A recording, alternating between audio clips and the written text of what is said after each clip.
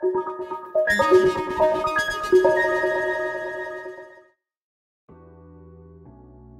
everyone, thank you for joining in. I would like to present you my review of Evo 8 4 ins 4 outs USB-C audio interface from Audient. So without further ado, let's start from unboxing. Audient is very well known British pro audio gear manufacturer. It produces different kind of pro audio hardware, but it's mostly known for professional, very easy to use from my own experience, studio analog mixing consoles, very high quality, extremely capable audio interfaces, and some other studio peripherals. Evo is some sort of sub-brand, which has been announced a couple of years ago, and this interface, to my understanding, is one of the first products Evo brand brought to the market. It caught my attention due to quite innovative functionality, easy to use, so to say, design, and the form factor. In this nicely designed carton box, we've got small folder with overview of the functionality, Evo 8 itself, and USB-C to USB-C cable. Here is the list with specifications. So let's see.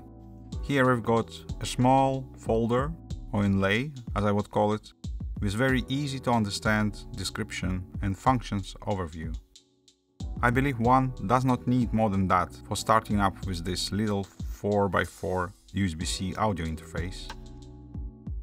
Further, we've got USB-C to USB-C connection cable, very good made, quite thick, and sturdy by the look and feel of it. And finally, Evo 8 itself. It is quite small and light for that kind of functionality. Audient Evo 8 has 4 ins and 4 outs, could handle 24-bit 96 kHz on all 8 channels. It has a completely plastic build.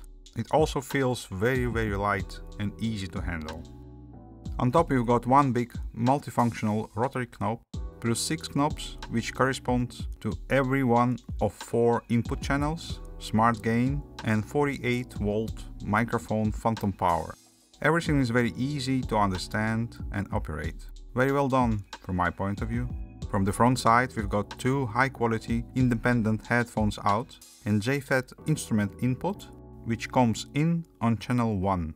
From the back We've got four high-quality balanced microphone instrument combo inputs made by Amphenol, which is very well known for its high quality, supported by high-performance EVO preamps.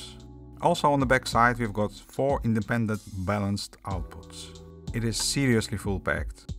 When connected to an Apple iPad Pro 11, it got instantaneously recognized by the iPad OS as plug-and-play audio device. It integrates absolutely perfectly. You can adjust iPad Pro system volume with the multifunctional rotary knob on the Evo 8. Now let's try it out in recording mode. For that I'll connect stereo ins with two mono XLR cables to channels 1 and 2, condenser microphone to the channel 3, headphones to the headphones output number 1 and connect it all to the iPad Pro 11 with USB-C to USB-C cable. Now in Cubasis, let's create three independent mono tracks, Armed, Phantom Power on, and we are good to go. One more thing, let's make it all in 96 kHz studio quality. Now hit the record, and it goes.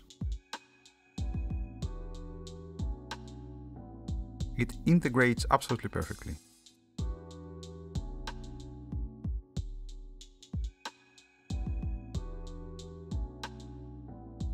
The same story with the Apogee Meta Recorder app. Everything is fully integrated, easy to use and logical.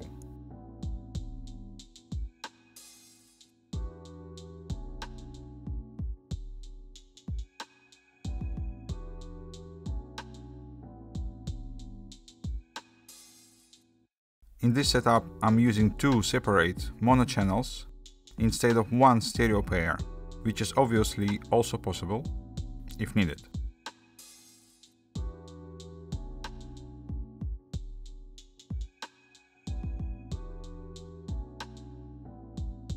Next, I would like to talk about Traktor Classic iOS app. where you can send two separate stereo channels out through four independent mono outputs on Evo 8.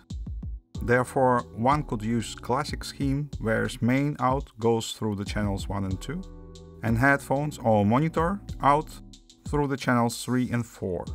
It is also possible to send both separate stereo outs through the channels 1, 2, 3 and 4 and use analog mixing console with iPad Pro as double deck and external mixer setup.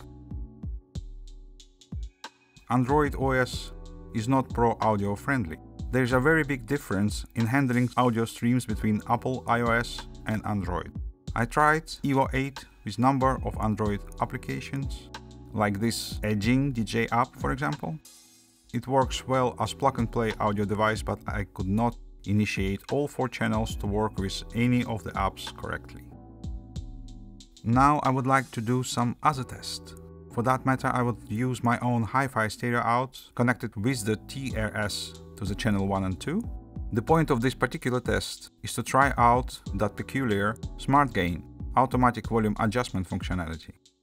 As soon as connected, as in previous time, it's got recognized by the iPad OS and all systems ready to go, so to say.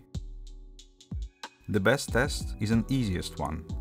So I'll use my old record player as a source and Apogee Meta Recorder up on the iPad Pro for recording.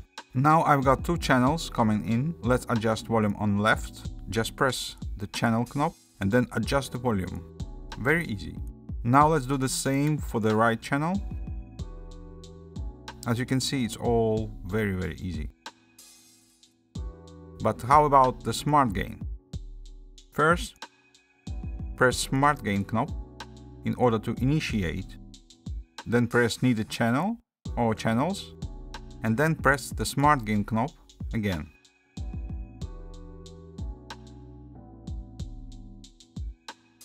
It takes a couple of seconds or some seconds.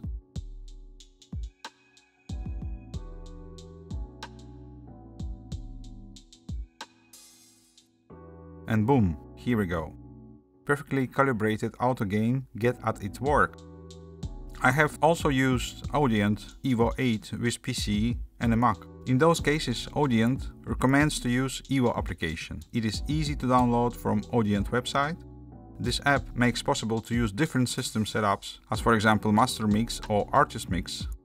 Unfortunately, I have to say that I did experience some problems with USB-C connection. It seems that USB-C cable could not stay firmly in the connector Nevertheless, if I am not going to consider USB-C connection as a serious thing, Evo 8 is exceptionally easy to use and fantastic sounding interface, which sounds very musical, airy, powerful, and just as all other high quality hardware from Audient.